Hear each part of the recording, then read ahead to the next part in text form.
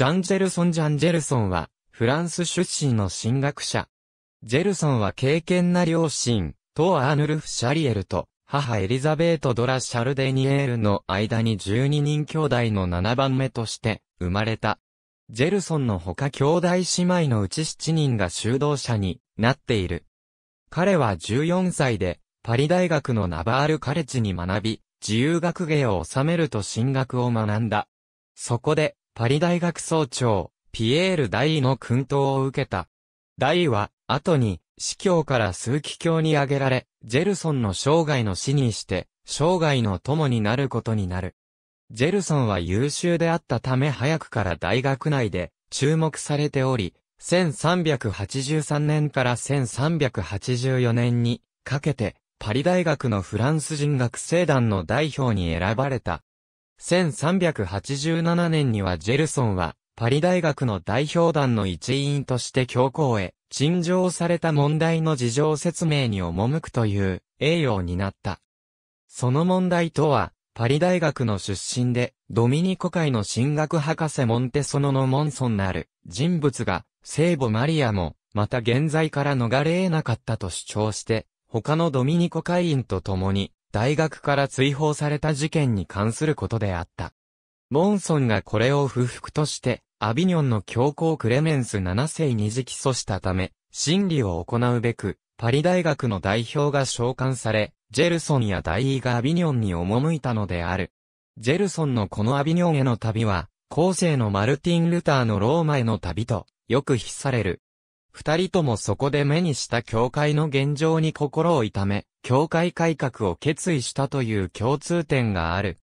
ジェルソンは、教会分裂の現状と聖職者のモラルの低下に衝撃を受け、以後パリ大学を拠点に、聖職者の霊的向上と教会分裂の克服に全力を注ぐことになる。1392年、ジェルソンは、博士号を取得した。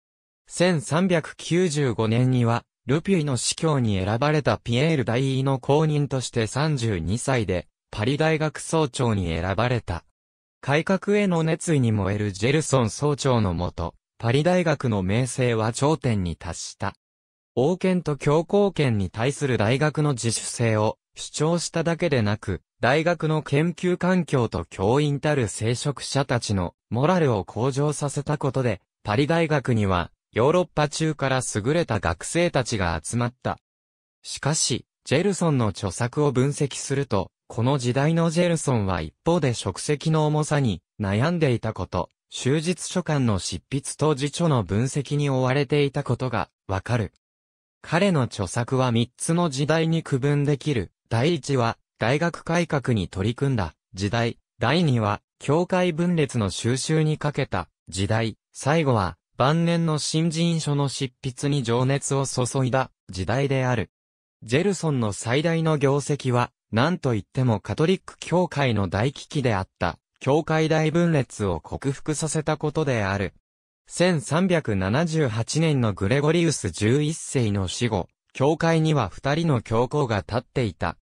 これは、中世の人から見れば、唯一であるはずの教会が二つになり、一人であるはずのキリストが二人になったかのような異常事態であった。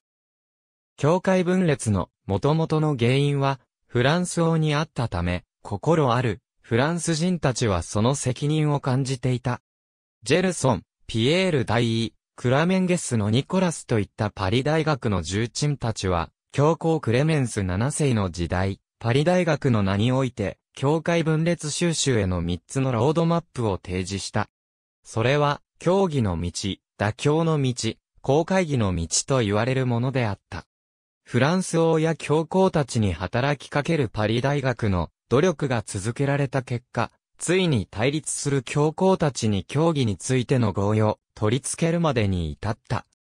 しかし、ヨーロッパの諸王たちは、分裂の収集において、教皇たちが話し合って解決するよりは、各国の数奇教団の思惑が通りやすい公会議の方が自分たちの政治的意向を反映させうると考え、公会議開催への世論と圧力を高めていった。ジェルソンは多くの文章を表して分裂収集を方向づけていったが、そこからは初めは、競技の道にかけていた希望が結局教皇たちの指導力のなさによって果たされず、徐々に、公会議への期待に転換していくことが読み取れる。オペラオムニア、1706最終的に事態は、公会議の強力なイニシアティブによってしか、解決できないところにまで追い込まれていた。というのも、新たに、教皇ヨハネス23世を選出した、ピサ教会会議が、教皇対立の解決どころか、第三の教皇を立てるという最悪の結果を引き起こしてしまったのである。大位はここに至って公会議でも解決はできないと失望したが、ジェルソンは諦めなかった。彼はまたもう一つの理由で、公会議の実施を熱望した。それは、同じ頃に起こったオルレアン公、ルイの暗殺を合法的なものとして支持した神学者、ジャンプティに対するパリ大学とパリ司教の弾劾の実効性を公会議で確認しようとしたからである。ジェルソンの熱意はついに皇帝、ジギスムントを動かした。ここにおいて歴史にその名を残すコンスタンツ公会議が開かれた。この公会議では、三人の教皇たちの処遇と仏派への対応についてが話し合われた。最終的に公会議は三人の教皇を廃位、あるいは退位させて、新教皇を立てることで分裂に終止符を打つことに成功した。ここでは、公会議の権威の教皇権に対する優越を確認したことで知られ、それがそのままジェルソンの思想と同義に見られがちであるが、彼の著作を注意深く読めば、ジェルソンが公会議の教皇権への優位は、教会分裂などの非常事態に限定されると考えていることがわかる。ジェルソンはそこまで徹底した教会改革は施行してはいなかった。